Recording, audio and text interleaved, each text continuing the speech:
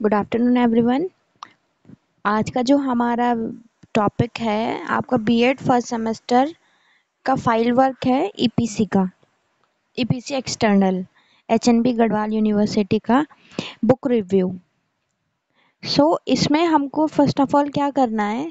जिस बुक का हमें रिव्यू करना है, आपको वो बुक सेलेक्ट करनी है, चाहे वो आपकी बीएड की हो, चाहे आप किसी भी सब्जेक्ट की बुक ले सकते हैं। तो यहाँ पर जो मैंने बुक लिया है हमारी चाइल्डहुड एंड ग्रोइंग अप की बुक ली है, जिसके ऑथर हैं आपके professor Girish Pachauri and second step में हमको क्या लिखना है? ऑथर की बायोग्राफी लिखनी है। बायोग्राफी में उसकी पूरी डिटेल आ जाएगी। नाम क्या है? किस पोस्ट पर वो इस समय है?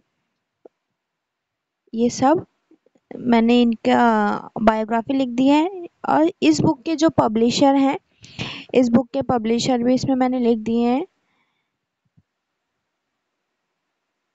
देन एडिशन बुक का कौन सा है? जो बुक मैंने ली है 2017 का एडिशन है।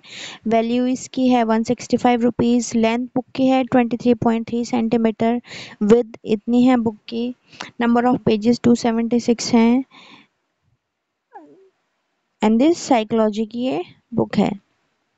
Then body of the book book की बॉडी में हम क्या क्या चीज़ें लेते हैं? कवर पेज लेंगे शेप कंटेंट लेंगे लैंग्वेज और एवोल्यूशन कवर पेज में हमने डिस्क्राइब करना है कि कवर पेज जो बुक का है वो किस टाइप का है। तो ये आप अपने लैंग्वेज में कुछ भी लिख सकते हैं। जो मैंने लिखा है, आप कॉपी कर सकते हैं इससे, अगर आपको ठीक लगे। Cover page is attractive well designed colour are beautiful book name and writer name is clearly visible. Then shape. Shape of the book is cuboidal and easy to carry. Title is unique and written in good language. Third content. After opening the book there are many topics in the content. Subtopics are divided. Topics are interesting knowledgeable related to the life then fourth language language is clear language is easy knowledgeable from the beginning to the end इसमें आप कुछ भी points add कर सकते हैं fifth आपका evaluation evaluation it is helpful for teachers and students also this is very interesting book as all the facts are included in this book. Then content of the book.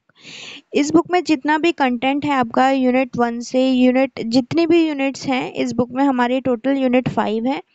तो जो भी आपका index में content लिखा होता है, इसको as it is हमने पेज वाइज इसको सेम कॉपी करना है। जैसे unit one educational psychology second unit में childhood and child development third unit में adolescence development fourth unit intelligence fifth unit personality and mental health and hygiene then हमको क्या करना है? Unit wise unit one unit second unit third unit fourth unit fifth की हमको summary type की लिखनी है, जिसमें आपको जैसा भी आपको लगता है कि यूनिट वन में क्या क्या चीज़ें दी हैं, कैसी दी हैं क्या क्या क्वालिटीज़ हैं उस टॉपिक्स की तो ये आप अपने उससे लिख सकते हैं। बाकी इससे नोट्स प्रॉपर इसमें हैं, आप कॉपी कर सकते हैं इससे।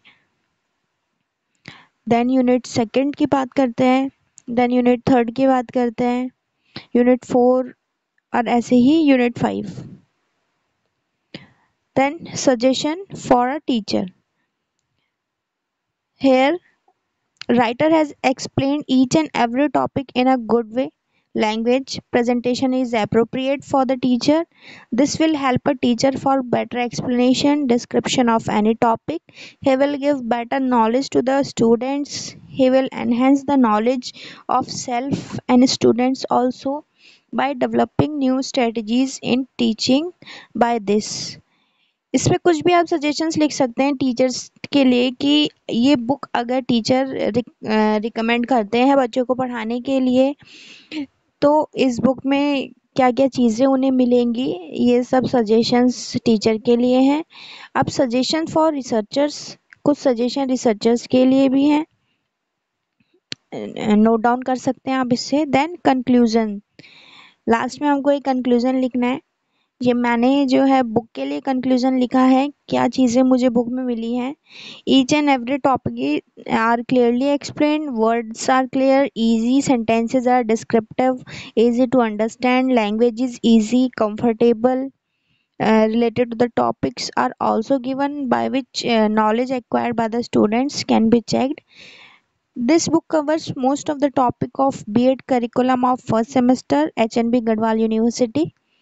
This will help in achieving goal of students. Then, some recommendation.